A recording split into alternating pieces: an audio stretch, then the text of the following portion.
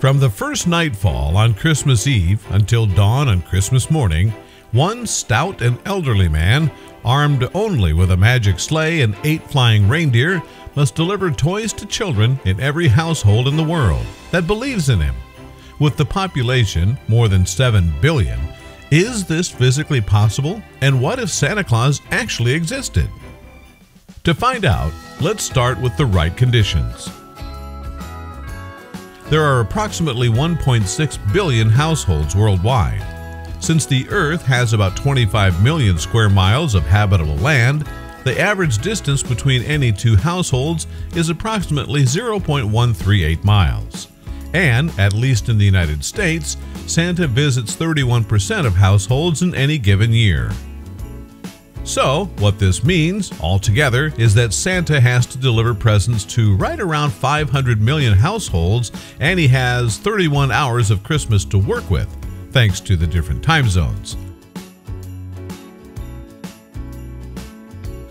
Santa has 223 microseconds to park, hop out of the sleigh, jump down the chimney, fill the stockings, distribute the remaining presents under the tree, eat whatever snacks that have been left, get back up the chimney, back into the sleigh, and move on to the next house. Sound impossible? Maybe for a normal human with conventional technology, sure. But I have faith in Santa, and so should you. In what might be the easiest solution, Santa could use wormholes. Wormholes are like tunnels through space time. Shortcuts that would allow Santa to travel enormous distances so quickly that his efforts would be indistinguishable from magic. Without using wormholes, Santa would have to travel near the speed of light to deliver his gifts in one night. That's faster than a meteor hitting the atmosphere, and way faster than NASA's space shuttle as it began its return to Earth. The entire reindeer team will be vaporized within 4.26 thousandths of a second. Santa, meanwhile, will be subjected to centrifugal forces 17,500 times greater than gravity and would be pinned to the back of his sleigh.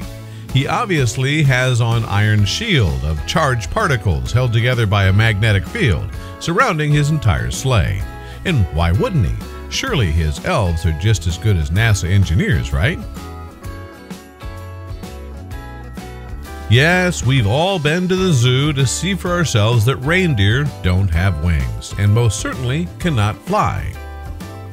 Getting reindeer to fly would have to incorporate some sort of anti gravity device.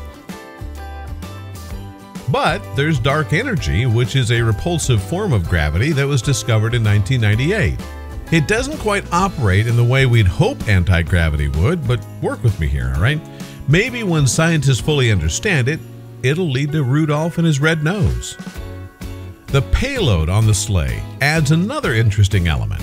Assuming that each child gets nothing more than a medium sized Lego set, the sleigh is carrying 321,300 tons, not counting Santa, who is invariably described as overweight. On land, conventional reindeer can pull no more than 136 kilograms. Even granting that flying reindeer could pull 10 times the normal amount, we cannot do the job with 8 or even 9 we'd need 214,200 reindeer. How could Santa get into all those houses so quietly? And never leave footprints. Stealthy isn't exactly the picture you have in mind when you think of an overweight elderly man traveling all over the world and wearing boots. Yet if Santa can land, there's no reason he couldn't be placed into the house from outside via a mechanical rig attached to the sleigh. Whether through a door, window, chimney, or other device, a robotic arm with Santa capacity could easily handle this. This is a tall order for any human, so there's no reason to believe Santa hasn't instituted a bit of technological Christmas magic. What about the eating of snacks? If every one of the 500 million homes with good children were to put out a single chocolate chip cookie with an 8 ounce glass of 2% milk, the total calories would be approximately 225 calories. Making some calculations, we find out that Santa would gain 14,610,389 kilograms, which is about 16,071.4 tons. Maybe Santa doesn't actually eat the cookies, but rather uses them to power his whole operation. In this stressful time, it's better not to dwell on the engineering challenges and enjoy the magic of the season. No matter what holiday you celebrate, I hope they're a joyous time for you, and in the spirit of Santa Claus, which transcends all cultures, Merry Christmas to all, and may peace and joy be with you.